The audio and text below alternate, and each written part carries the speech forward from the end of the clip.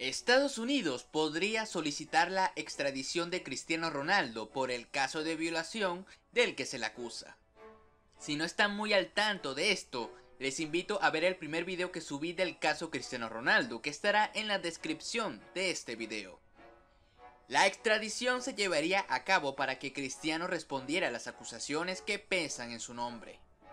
En dado caso que se solicite dicha extradición, Cristiano deberá huir a Portugal, su tierra natal. El luso ya se adelantó a ello aprovechando la fecha FIFA. De hecho, fue fotografiado en el bar de un hotel junto a su pareja. Este aprovecharía en reunirse con todos sus abogados para tratar el delito del que se le acusa. Leslie Stovall, uno de los abogados de la chica que denunció a Cristiano Ronaldo en 2009, habló que supuestamente otra mujer puso una denuncia en contra de Cristiano por nuevamente, otra supuesta violación que ocurrió en Manchester y que al parecer podrían haber dos víctimas más, aunque ninguna ha sido revelada por los momentos. Lo que ocurriría en caso de que Cristiano fuera extraditado es que deberá presentarse ante un juez el cual se le fijaría o una fianza o bien podría ser arrestado.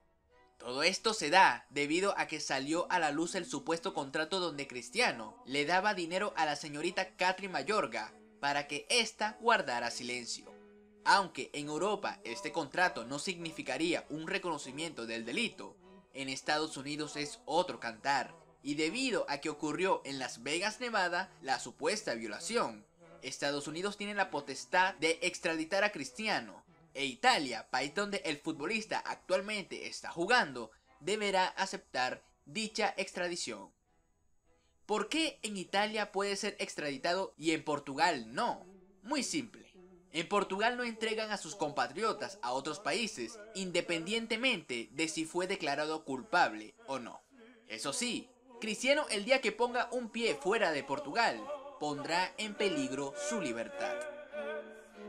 La familia de Cristiano inició una campaña a favor de él colocándolo como Superman, reclamando justicia por el futbolista luso. ¿Ustedes qué opinan tras esta nueva noticia?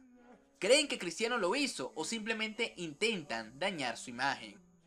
En el video anterior hubo disparidad de opiniones. Unos piensan que sí lo hizo, otros que no lo hizo. En la comunidad de YouTube, en mi canal y en mi cuenta de Twitter pondré una encuesta. ¿Creen que Cristiano lo hizo? Vayan y voten para saber la opinión mayoritaria de ustedes. Si este video te gustó, por favor dale me gusta y comenta qué otro video quieres ver en este canal. No te olvides compartir, que así me ayudas muchísimo. Suscríbete para que seas al tanto de cuando suba un nuevo video. Sígueme en Twitter y en Instagram y dale me gusta a mi página de Facebook para estar más en contacto conmigo. Un abrazo a todos. Hasta otra.